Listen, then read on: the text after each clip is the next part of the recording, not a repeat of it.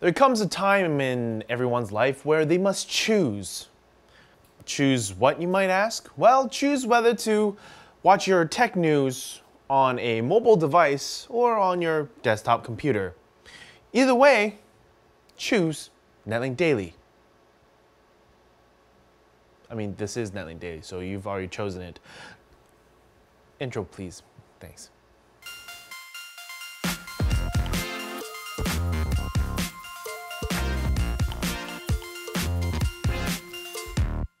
Yesterday, good old Keys covered the Skylake X leak from videocardz.com. And now today, Intel officially announced the X series. The new Intel Core X series of processors uses the new X299 platform, which has a wider range and greater complexity than the X99 platform that it replaces. Intel's high-end desktop platform starts on the low end with Kaby Lake X CPUs, the i5-7640X at $242 and the i7-7740 X at $339. On the higher end of the X series comes Skylake X. That starts off at the i7-7800X at $389, and from there it goes all the way up to Intel's Core i9-7980X E 18-core CPU, which will retail for $19.99. All of these X series chips will be socket LGA 2066, have up to 44 PCIe lanes, and have updated Turbo Boost Max technology 3.0 and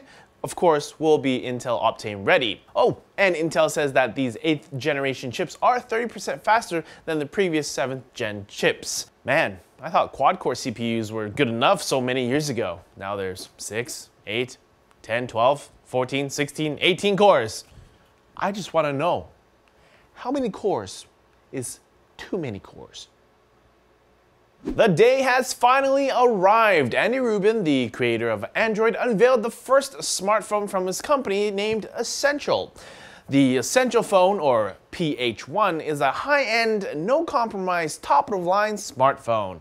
The PH1 has a titanium body with a ceramic back and Gorilla Glass 5 front cover. It's only 7.8 millimeters thin, the screen is 5.71 inches with rounded corners. It has four microphones with noise cancellation, a rear 13 megapixel dual RGB and mono camera, a front megapixel 8 megapixel camera, both front and back cameras are capable of recording 4K at 30 FPS.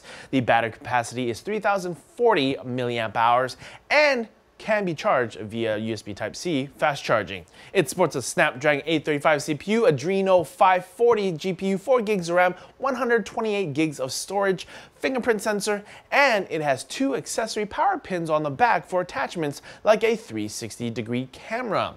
It comes in four colors and the MSRP is $699. Wow, that's quite a feature-packed phone, except you can't really call it the essential phone if you don't have a headphone port, but they do offer the included headphone adapter, which is what I like to call pulling an apple. What do you guys think about the essential phone? Leave a comment down below. NVIDIA made a big announcement at Computex and it's called Max-Q. What is Max-Q? It's a new design that's coming to laptops that are both three times thinner and three times more powerful than their predecessors. Max-Q designs allow new laptops to be just 18 millimeters thin and weigh only 5 pounds compared to the gaming laptops of yesteryear being 51 millimeters thick and 10 pounds heavy. Jensen Huang, NVIDIA CEO, showed off the Asus Zephyrus on stage. He says that this particular Max-Q design-based laptop is 60% faster than a PS4 Pro console. Max-Q design laptops will also include a whisper mode which intelligently paces a game's frame rate while at the same time configure graphic settings for optimal power efficiency and allow for quieter gaming. All GeForce GTX 10 series laptops built with Max-Q guidelines will include the GTX 1060, 1070, or 1080 level GPUs inside. These laptops are even said to outpace the thinness of a Razer Blade and will be just as powerful as the Blade Pro. The new laptops with Max-Q design begin to roll out June 27th with no mention of pricing just yet. It's time for lightning round! Bien, bien, bien. Asus has a new bigger and better gaming monitor called the ROG Swift PG35VQ.